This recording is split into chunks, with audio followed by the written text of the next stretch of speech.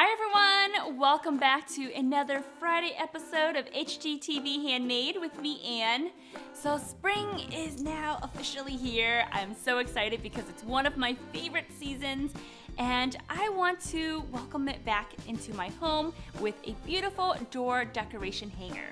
So I'm going to personalize mine by making the letter H, which stands for home, and HGTV Handmade. So let's get started with this.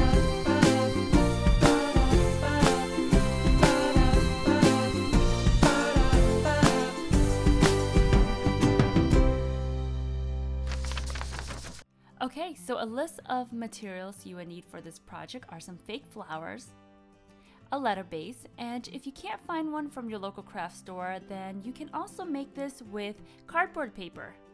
You will also need some craft paint and a brush, a ribbon, two tacks, and of course a hot glue gun.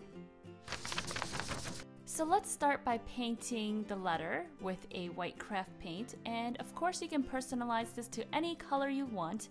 I just want to paint this white and although I will be covering this with some fake flowers, a little bit of this will peek through and I prefer this over the raw wood. As my paint set to dry, what I'm going to do next is take apart the flowers. So some of these I can just pop them right off, but if you can't, then just take a pair of scissors and cut them off. When it comes to selecting the flowers, I would just select colors that I like, and I normally work around three colors or so. And as you can see right here, I have different shapes and texture flowers. I like to use the smaller ones as fillers, and then the bigger flowers are my main centerpieces.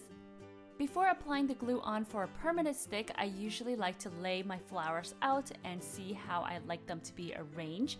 And if I like them, then I leave them there and then I take out my hot glue gun and glue each piece on. Take your time arranging these flowers, and if you're making this for family or somebody you know, then have fun with this. Customize it according to what you think that person would like. This is a really fun project to just admire afterward. That's what I love, love about DIYing.